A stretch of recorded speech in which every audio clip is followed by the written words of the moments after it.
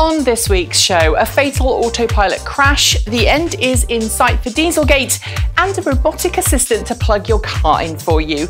These stories and more coming up next on TEN. Enjoying today's show on YouTube and want to read the stories we're referring to today? Just head to our website at transportevolved.com forward slash TEN, where you'll find links to today's show notes, as well as links to the latest future car news, buying guides, tech primers, and car reviews. It's Friday, July 1st, 2016. I'm Nikki Gordon Bloomfield, and yet again, I'd like to thank the 157 people who regularly contribute funds to Transport Evolved so that we can bring you this show free. You guys really do rock. Thanks. We start today's show with what is essentially a breaking news story as of Thursday afternoon involving a fatal crash between a Tesla Model S electric car and a tractor trailer unit. The incident, which happened this week, is believed to have been caused when a Model S being driven with autopilot engaged crashed into the side of a tractor trailer as it crossed perpendicular to the car's path on the road. According to Tesla's report, neither the driver nor the autopilot software detected the trailer due to the road conditions at the time, a bright sunny day, resulting in the car hitting the trailer at the speed it was travelling at before the crash. Following strict protocol, Tesla has notified the National Highway Traffic Safety Administration, which will undertake a full formal preliminary investigation in the coming weeks. We'll keep you posted on this tragic and sudden news story. And on behalf of the team at Transport Evolved, we'd like to pass on our condolences to the family of the deceased. Of course, Tesla's attention to detail over safety and electric vehicle systems is one of the reasons that it's become so legendary in its field, but it's also known for its desire to try and change the world. A, a good example of this, of course, is the great patent giveaway of 2014, which made its electric vehicle patents open source for the benefit of the automotive world. Well, this week, electric bus manufacturer Proterra followed suit, announcing its own patent giveaway in an attempt to accelerate the demise of the internal combustion engine and get more transit authorities plugging their buses in. The three patents in question cover Proterra's overhead DC quick charge system, which is capable of fully charging the Proterra FC battery pack from empty to full in just 10 minutes. Like Tesla's patent giveaway, Proterra hopes competitors will make use of its virtual leg up and start building their own electric buses as soon as possible. But only time will tell if they follow Proterra's lead or ignore the freely available patents on offer. We're back to another Tesla story now, which I know will upset some viewers, but given its importance, we think you'll want to hear it.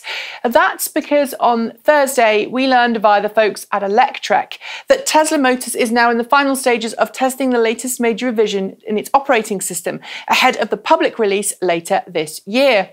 At the heart of the version 8.0 of the operating system comes some pretty major interface tweaks designed to make that massive 17 inch touchscreen display more usable, as well as improvements to the routing software to take into account vehicle range and state of charge. There's also more accurate and responsive voice command subroutines, as well as an exciting new addition to the autopilot that makes it possible for drivers to use autopilot to take off ramps while in fully autonomous mode for the first time. Although I'm not sure if the earlier story will impact that. I'm sure more information on the update will be forthcoming in the coming weeks, so stay tuned for more information as we have it. We're off to the US federal courts next with news of a proposed settlement package in the ongoing Dieselgate scandal, one which could see Volkswagen nearly $15 billion poorer, owners of affected TDI cars a little richer, and then $2 billion powered into zero emissions refueling infrastructure across the entire US. As we reported midweek, the new deal, agreed upon by Volkswagen, the US Department of Justice, 44 US states, the US EPA, and plaintiffs suing Volkswagen for illegally fitting the so called emissions cheat devices in certain model year diesel cars, will see Volkswagen offer owners of affected 2.0 litre diesel engine cars a buyback from their car or a retrofit to bring their cars in line with emissions regulations. Since the buyback is going to be at pre Dieselgate scandal levels and no retrofit retrofit has been approved yet, we're guessing most cars will head back to Volkswagen to be destroyed, while customers will also be given up to $10,000 in goodwill money in order to waive the right to bring future Dieselgate cases to court. Additionally, it's worth noting that Volkswagen will have to pay $2.7 billion to a special court appointed environmental trust fund, which will be used to carry out mitigation projects to help clean the air we breathe. And finally, there's that $2 billion investment in recharging and refueling infrastructure for zero emission vehicles. So we think it's good news all around. What about you? Talking about court cases, we heard this week that the Tesla Model X owner who has been suing the California company under the state's lemon law over a long laundry list of problems has actually chosen to settle out of court. The original claimant, Barrett Lyon, demanded a refund from Tesla when his brand new Model X failed to operate as expected, with issues ranging from poor quality control to dangerous and inaccurate autopilot operation. It had looked as if Tesla was going to go all the way to courts with a long-time customer. But earlier this week, Lyon confirmed that he'd sold his defective car back to Tesla. As you might expect, the terms of this buyback are not for public domain, but Tesla maintains that it is committed to providing customers with the highest quality vehicles it can and says the majority of Model X owners are very happy with their cars. We'll be watching closely to see if there are any other cases coming along, however, because based on the various forums we've seen, just like any other car, there are more than just a handful of unhappy owners wanting Tesla to fix those early production teething problems out. As those of you who keep an eye on world politics will know, last week the UK voted, by a small margin, to leave the EU, which caused the pound to plummet against the dollar and expats like me who voted Remain to cry uncontrollably into our warm beers. But there is at least some good news on the horizon, courtesy of Go Ultra Low, the UK government agency funded with encouraging the mass adoption of zero and low emission vehicles across the nation, which said midweek that it predicts plug in and electric electric vehicles will have market dominance in the UK in just 10 years' time. That is great news. It predicts 1.3 million EVs will have been sold by 2027, but I can't help wonder if last week's election will impact on those numbers somewhat. After all, if the UK heads back into a recession, and most economists now say it will, the cost of buying an electric car is just going to go up for Brits, meaning less, not more people will be able to afford them. But hey, I guess there is a silver lining somewhere because I'm now paying off my student loan in US dollars. Last week's election means my student loan has dropped by about $4,000 compared to last week. I just don't like the way it happened. I guess if you can't afford a new electric car, though, there are always opportunities to buy used. And this week, we learned that for those buying or selling a used plug in car, there are three models that literally fly off dealer lots or the classified ads the Tesla Model S, Nissan Leaf, and Toyota Prius plug in hybrid. That's according to iSeeCars.com, which examine used cars between one and three years old on sale between January and May this year and discovered that all three cars spent less than a month on sale before someone snapped them up. The quickest to sell, interestingly, was the Toyota Prius plug-in hybrid, with 19.7 days on average on the market before it found a new owner. The Nissan Leaf came in second place with an average on sale time of 24.3 days.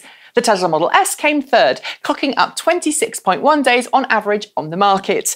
We're not sure if the data include private and business sales, but it does go to show that demand for plug-in cars is on the rise, even if you can't afford a brand new one. As you'll note from earlier in this show, the Volkswagen Group is facing some pretty big bills right now thanks to the Dieselgate scandal. But that hasn't stopped the premium arm Audi and its electric vehicle boss Stefan Niemann from taking potshots at Tesla Motors this week, promising that Audi will soon be competitive against Tesla in the electric car marketplace. I'm not going to go into the details here, but the gist of it is that Audi believes it has both a technological edge and an experience that Tesla lacks when it comes to automotive manufacturing, presumably meaning that it thinks it can do just what Tesla does. Audi, which already has plans to bring several long range electric cars to market in the next few years, seems to be relying on its build quality and attention to detail, something Tesla has struggled with in the past to talk up its electric car potential. But no doubt, as many watching will note, Audi is planning and talking while Tesla is doing. And until Audi actually starts producing long range plug in cars, the whole thing may be a little bit of a moot point. I guess we're just going to have to wait a few more years to find out what happens next. Talking of future plans, Nissan confirmed this week that it intends to bring a brand new range extended electric car to market in Japan later this year, with a global rollout further down the line.